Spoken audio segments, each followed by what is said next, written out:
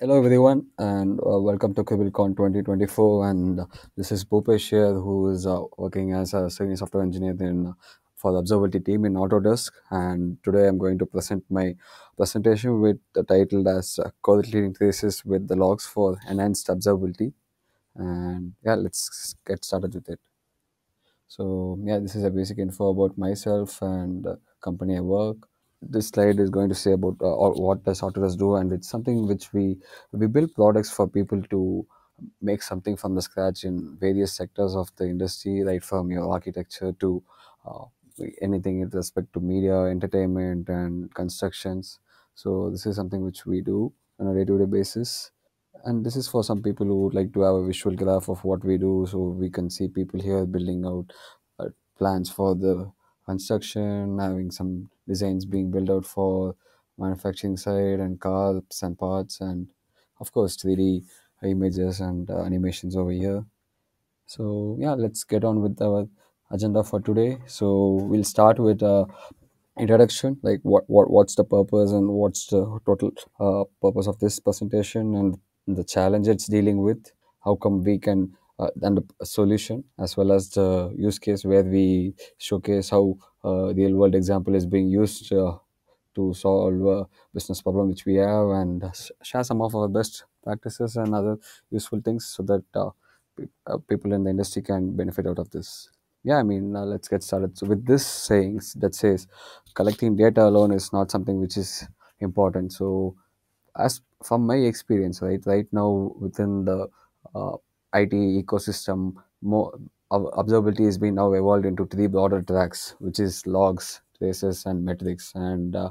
from uh, my own uh, interactions with the fellow uh, people here i feel uh, right now observability is going into a direction where it's something where it is being done as part of a sign off and something like people want to have the products created and released and being used widely but then observability comes in as just as a checkpoint. But then teams are not evolving into how to use observability and have combine all these three tags together and uh, draw insights and make the best out of it. So that's something which uh, is currently happening in across institutions. So that's something which we need to try to address it. And uh, i think as a result of that we have a challenge here where we are unable to even uh, unify all the telemetry data for any particular applications or the request right so as the companies are growing we have various multi-services across divided across the organizations and each multi each service is being owned by a different team and they have their own tech stack and uh, it's in a distributed services you it's very tough to unify all the telemetry data for any particular request right? So as uh, as a bigger organization and enterprise your request is not going to be served or any any any any application or any product is not going to be served or serviced by one particular microservice right? So it's going to flow through various services and then uh, when all these teams are going to work in silos and have their own logging format and then when you want to identify issue or where is the bottleneck at uh, from the top level you might find it difficult to traverse across all these things. So think that's one of the challenge which we are primarily facing as companies grow and uh, as, our uh, licenses increase and our, our logging volume increases and the, as as data grows when uh, we try to scale our companies to higher heights. So that's something which uh, we need to have a unique tracker across all these systems from where which are working independently. I think to have that manually it's something which will take a lot of uh, manual effort and as well as your manpower to have that ac- across all the uh, systems. So that's something which uh, is really time consuming as well. So and even right so even once you start building out this manually and then once you set it up then let's say uh, in two years or three years you have a new framework and new logging library which is coming and it uses a totally different format and then you have to again keep it updated. So there is no uh, one one stop all for process for this. So that's the challenge which we are trying to address here and we need to have a mechanism where we can correlate all of our data into one single place and we have many tools in the market which is having this facilities but then for the people who, uh, who can't afford or who can't have it all in one tool. So let's say people use uh, open telemetry for traces they use logs for splunk, for logs and then they have metrics in the dynatrace so how, how come you're going to combine all these three different uh, tracks into one? So that, that's where the problem rises so this is something which we need to uh, address and uh, as a result of these challenges right so we have all this observability data into separate uh, bottles not being um, used together. So we we it, it, it does cause a lot of uh, uh, problems where your data is going to be in silos and you might not make complete sense of it. So you might not know at uh, uh, you might know there's a single point of failure but then you might know where it's failing but then what's the cause whether it's downstream or upstream where is it happening and the insights about what's going to stop uh, wha- what's going to solve your issue over here. So that's something which would be lacking because of the challenge. And then once when th- these things happen it's going to take some time to get it resolved. So this will cause of course your extended downtime for your applications and services and which will in turn affect your revenues and your business impact for your customers and the world. As well as uh, talking about scalability issues right? So each and every organizations have their own growth targets and they wanted to grow in their own way own pace. And when organizations grow we need to have the scaling power to scale from uh, uh, 1 billion to a 5 billion company where your logging volume is also going to increase in more than 5x not even 5x right so th- these are the some of the challenges uh, and its impacts listed down here. So yeah i mean uh, th- that's when we want we are trying to provide a solution where we can't have all these systems and services working on an independent basis or a separate basis where this has to be addressable. So we need to have something or a framework in middle which is going to correlate and combine all, all these tracks into one. So that's when um, we are trying to have a, a solution so and going on with the impact right? So if you if you're going to see we might have uh, lot mean mttr is going to increase the the number of times and the duration where you try to work on complete the uh, the troubleshooting and going to resolve this ticket using uh, by comparing each these uh, data in their own uh, uh, platforms and in their own uh, format understanding and drawing insight that's going to take some time. And then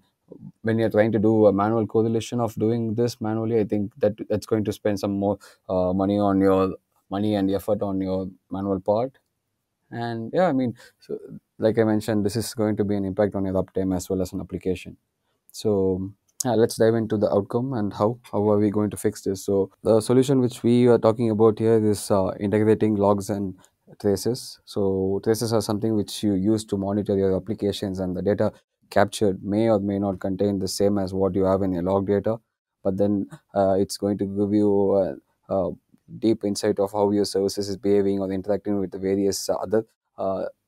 services downstream or upstream However, your log data is going to be something which you're capturing from your uh, hosts or the resources where the application is running. And uh, um, let's say we don't uh, we don't have this uh, correlation or this interaction between where you host your services and where you host your uh, application. So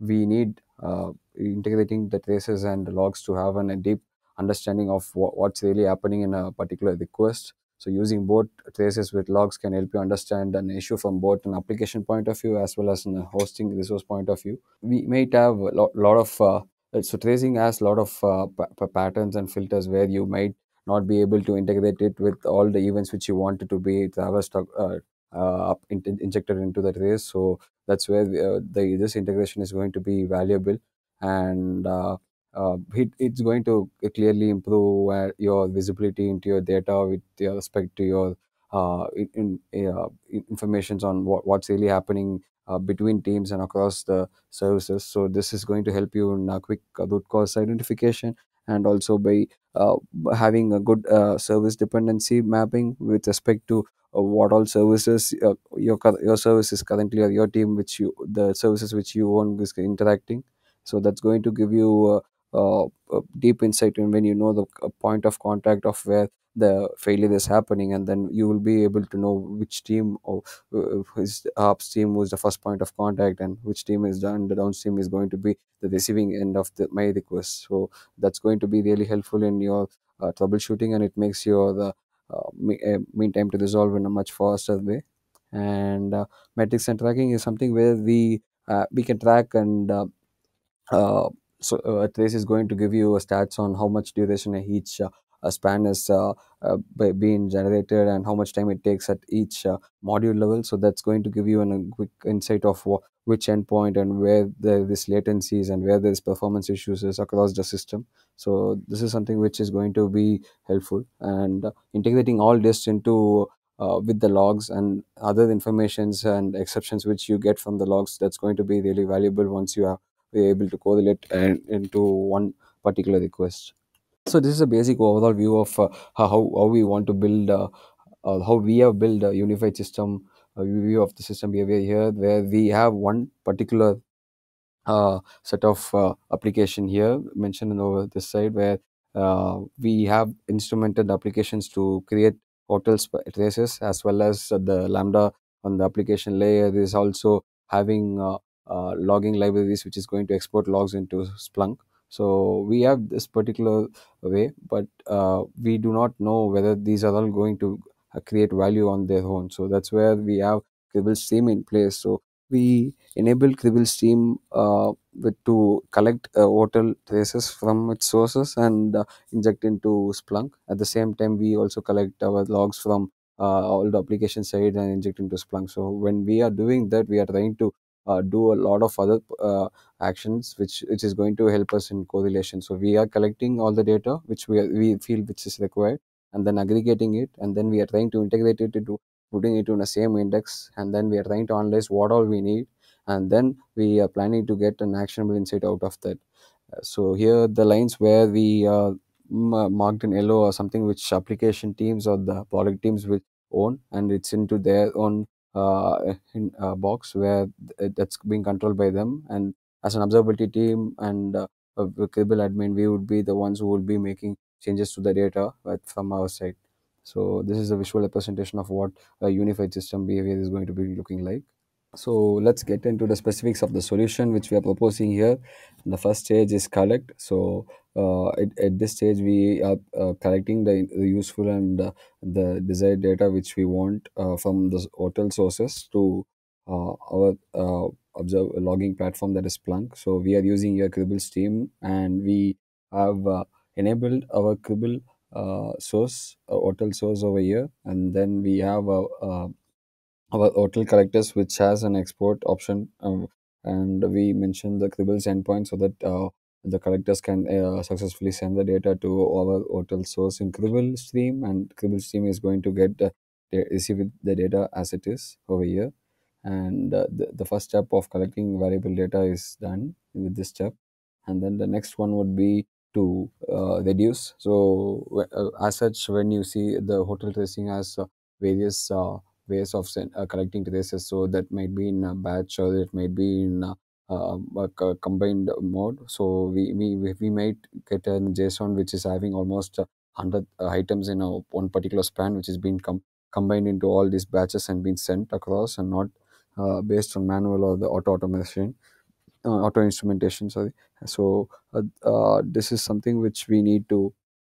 handle it at our side. We do not want to have the entire uh, uh, the information from this is to be logged in Splunk, where uh, we need to identify what what's going to be our uh, relevant uh, data here. So that's how we try to reduce the noise and have something worked out for each service system. So this is something which can be done uh, custom to each and every uh, uh, services uh, on an individual basis. This is not something which uh, us in you need not push it on across all the services because the needs and requirements for each services troubleshooting might vary. So that's when Cribl Stream comes into picture with the filter feature where we can filter uh, the data, how we pass and how we reduce it based on the data. So we have uh, identified yes the spans are 100 items which we do not want and attributes is common but then you have almost 15 items of uh, uh, spans within uh, e- e- each uh, JSON over here. So that's going to be a problem. So we need to try to reduce the noise here. And uh, this is how we are going to do it. So then third stage is something where we are shaping the data. So here we are trying to convert the huge JSON into a, a valuable one one event where we have the desired fields what we feel might be useful for our troubleshooting purpose and also shaping the data in a format where it's more readable and it's being recognized by our logging platform. and along with this when we are trying to add this we are trying to also enrich the data. So here if you see there is uh, three fields of uh, uh, primarily used in splunk index source and source type. So these three fields are something where we have we map each services uh, uh, indexes as it is where the logs are being residing so that we have uh, all the traces and logs in the same place. And the next one is going to show how how we are going to do it. So uh, we need to shed the dead weight right? So we don't want all the data to uh, splunk. And we start with uh, a basic control on our instrumentation library spans. And then uh, the library spans is being nested uh, json on, again with another span. So we have to unroll all this data. And then we do a set of functions which is going to get to a basic level of how we want the data to be uh, as shown in the previous slide. So we do passes, we do eval, we try to set the timestamp, and then we try to rename certain fields based on our needs, and uh, all other action items are being done. So other span attributes fields are being dropped as well. So there are a lot of functions which we do with Cribl, which is going to enable us uh, uh, shed that weight here, and uh, which is going to make your logs look in, into a simpler aspect, uh, just as here. So this is going to be a final output so now your OTel uh, OTel log data is now completed so now we need to have this trace metadata in our logs. So that's where we start working on uh, injection of trace metadata into our logs. So this code is in a basic snippet of how we can add the context from our application layer itself. So uh, this is where we use uh, uh, key uh, we where we use uh, OTel trace ID and OTel span ID as a unique attribute to inject into the logs. So we get the context from the lambda, which is instrumenting it in OTel, and inject it into the logs and send this across uh, to our logging platform. So that's the idea of this injection. So our correlation begins right away here. So we have uh, we have now successfully routed our traces to index and source type, which is being the same location of the logs for that particular service. And now our logs are also having the information of trace metadata, that is trace IDs and span IDs. This is really going to help us with the these two are the main attributes which is going to help us within correlating, bridging between our traces and, and logs. So how this is going to help us this is going to connect your dots between various uh, specific spec- operation and then what's really happening at in your system and also uh, from any single point of failure it's going to help us to traverse back and forth from both sides so that we know where exactly the issue lies or where exactly the uh, problem is sitting at so and uh, i think i can quickly show a demo for the same uh, where we have integrated this and we have built the data out of this and how does the final uh, dashboard in splunk would look like So yeah, th- uh, this is our unified dashboard which we have built by uh, integrating traces and uh, logs. So first off, we have two two input panels where we want to have a service name and trace ID listed out here. So if uh, if any end user or anybody who who has an issue with a particular service can query for that particular service over here by mentioning the name and as well as the trace ID and this is a time frame for which they want to search it and then submit button to run the searches. So for example uh, since we have brought our trace informations to splunk the uh, uh, first few panels or something which is going to uh, give you a uh, deep insight of what's really happening within your service. So for example we have a business use case of an application where we have customer facing and the wallet uh, of all our customers are being managed by this particular application. So uh, we have people uh, adding uh, money to the wallet and purchasing in an e-commerce website and checking out. So that's the use case over here. So if you see here the we have around nine um, uh, sub services within this applications being uh, instrumented to trace. And as well as there are around 110 sub uh, methods and the modules which are being used over here. And this is the unique trace IDs which are being uh, traces created over the last seven days period of time. So in, any with any traces you want to ca- calculate your z matrix and have an uh, trend line over that. So this is something which uh, uh, we have built it in-house in evidence Splunk using the data which we have collected from our OTel using Cribl Stream. So uh, the, the requests are the mentioned over here that's a total count and then this part line is going to give you the timeline where when you can see a small spike and the trends over the last uh, seven days. So at the same time this is going to be a rate this is going to be your error span other trace IDs and these are all going to be the durations of each trace across the uh, services over here. So source field is corresponding to the service name in the tracing context. So any source uh, here these are all the service names uh, listed in the tracing context as mentioned here. So this is one a panel which is going to give you deep insights of what's really happening and uh, you can sort it by uh, and then see which service is having a lot of errors so wallet wallet allowance service has a lot of errors which is being uh, there and we have a small spike over here. And uh, the next panel is something where we want to also uh, have a overall view of uh, the service latency matrix with respect to the du- durations and how that trend has been and which services are taking more time and this is uh, the durations in milliseconds which is ca- calculated from the uh, uh, tracing context. And uh, mm, the next panel is going to give us a service mapping. So for example uh, we have a unique trace ID and we are not sure what all services and what all uh, methods it's going to touch when it's uh, being processed by an, an the application, right? So we need to have the mapping between one on one, and uh, here we we are trying to um, copy. Uh, so this trace ID is something which is going to be unique for the net uh, complete request for the customer. So let's say if uh, we have a user with uh, this particular trace ID and is reporting a problem, the the person or the, anyone who's attending on, on call for the support for this particular applications can copy that trace ID and uh, place it away, then click submit, and then we will have all these panels which are all determined by trace ID to be running in uh, the running their searches. So let's give it a moment.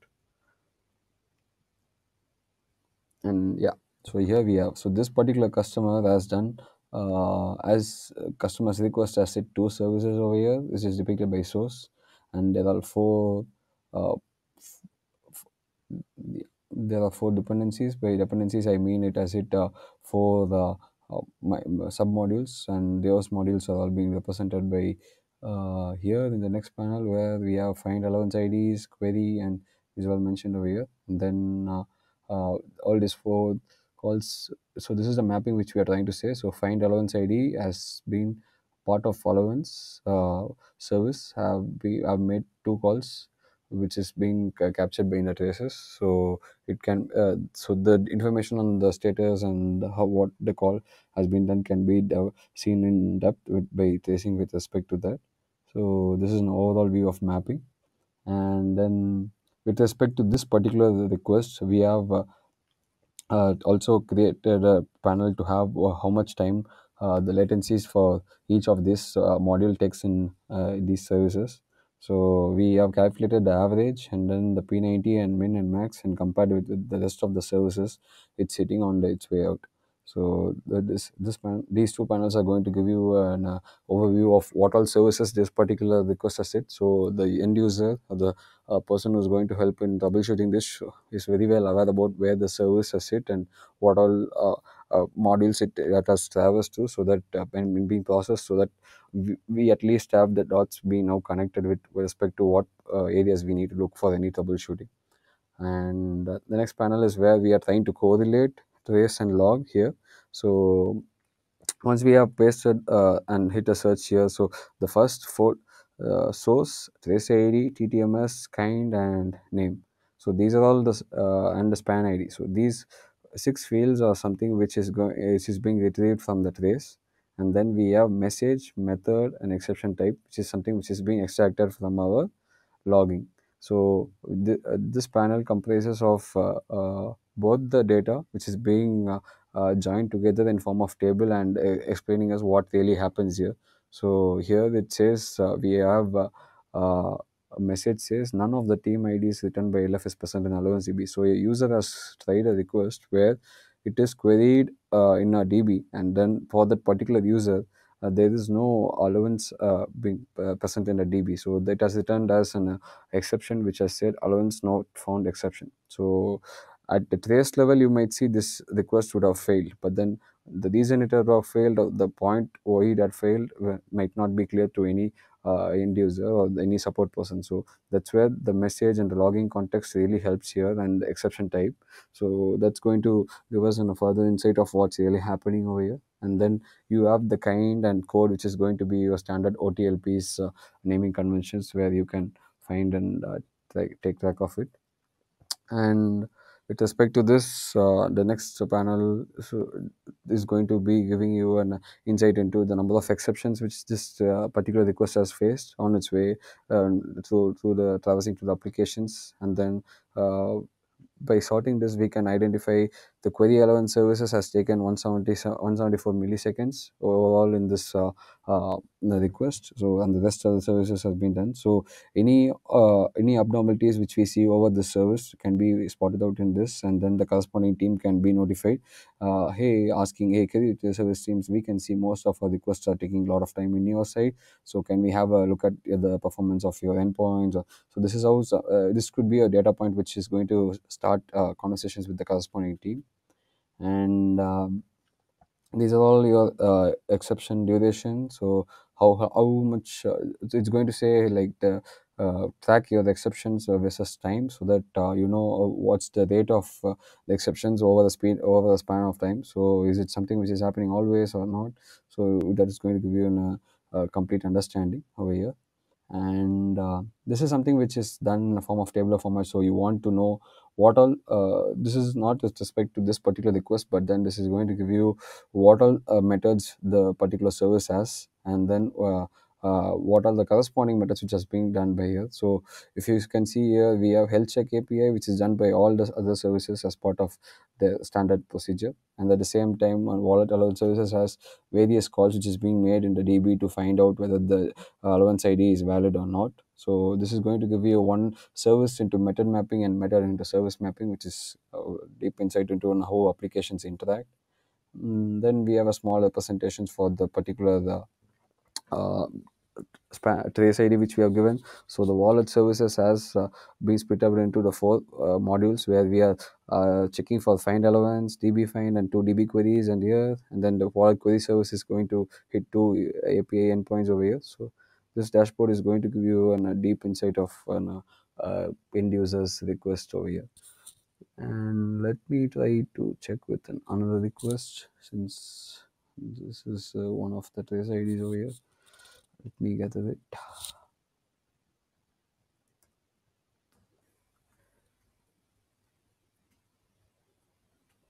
mm, let's give it a moment till it queries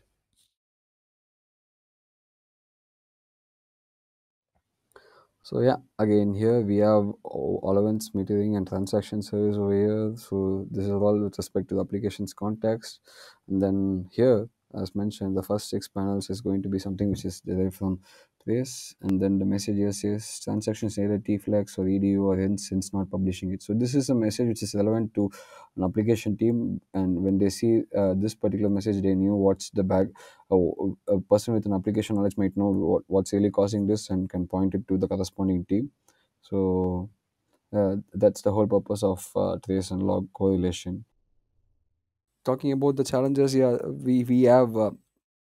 we, we have lot, lot of services which are working in silos so this was uh, quite uh, uh, uh, quite a challenge to integrate them with the Splunk. Uh, but uh, with respect to the uh, routing part, I think uh, Cribl's team really played an, a crucial role here to uh, have have it uh, integrated with the Splunk uh, that particular index and. Uh, really the results we we seen with this was we were able to uh, resolve issues in um, uh, at least uh, in a quicker uh, turnaround time than earlier without uh, this particular dashboard and it increased the system reliability for this. So yeah and talking about the lessons learned and the best practices with this uh, uh, particular solution i think uh, one of the best practices which we have was to leverage Cribl for routing uh, any any kind of data which we have from various data sources i think uh, we, we that's really helping us as a game changer to pass and enrich the data with what we need and shed dead weight. And the the thing which we so the current set of pipeline functions which we have created to uh, pass of data can be something which can be used as a framework for the entire tracing uh, uh, uh, uh, community as in it is the tracing format is something which is universal across uh, uh, for the particular domain and it's going to be same. So no matter uh, who uses it is going to be same. So that can be looked into a, a possibility of being added in as a Cribl pack which is really going to be an uh, value for the teams who are going to use it uh, to understand and draw insights from the traces uh, they generate. And uh, and that's the one of the best practices which we also recommend people to do is uh, pass an index data uh, along the way when you're trying to stream it to any logging solution. And uh, some of the visualization be- best practices is uh, try to have a, a custom dashboard created with uh, uh, more insights of you have all the data into a same index and create various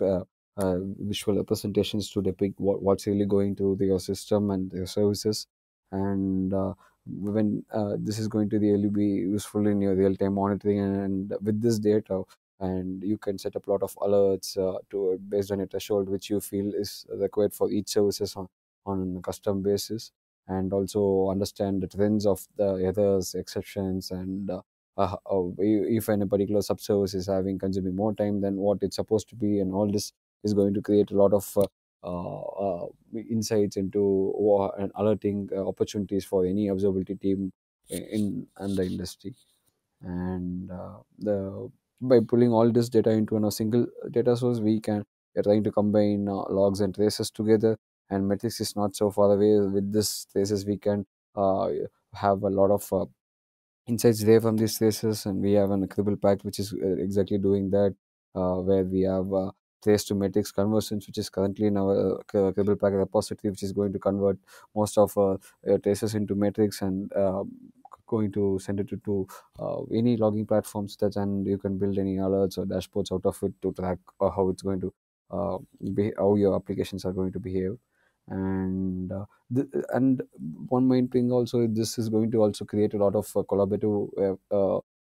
initiative across the teams within the organizations so uh, uh, let's say a team which is going to take in your L1 uh, L1 calls of first level of the support might have a lot of information on where the uh, issue is really happening and route it directly to uh, L2 or the L3 team without having an help of uh, another intermediate support person in this. So the person uh, as a first line responder has uh, been equipped with a good uh, knowledge uh, to handle this with the unique dashboards which you create and uh, integrated ones uh, models which I, we have just showcased. So this is going to be really a game changer for people who use it uh, accordingly.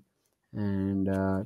trigger alerts based on predefined threshold this is something which we have uh, we want uh, teams to have uh, set it up as part of their onboarding process itself and not just bring the data in but have create on uh, dashboarding and alerting while you onboard the data itself. Yeah with this i conclude my presentations and thank you guys